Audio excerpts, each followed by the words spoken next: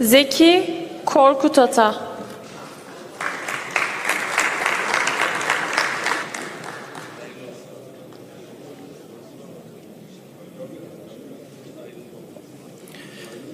devletin varlığı ve bağımsızlığını, vatanın ve milletin bölünmez bütünlüğünü, milletin kayıtsız ve şartsız egemenliğini koruyacağıma, hukukun üstünlüğüne, demokratik ve layık cumhuriyete ve Atatürk ilke ve inkılaplarına bağlı kalacağıma, toplumun huzur ve refahı, milli dayanışma ve adalet anlayışı içinde herkesin insan haklarından ve temel hürriyetlerden yararlanması ülkesinden ve anayasadan ve anayasaya sadakatten ayrılmayacağıma büyük Türk milleti önünde namusum ve şerefim üzerine and içerim.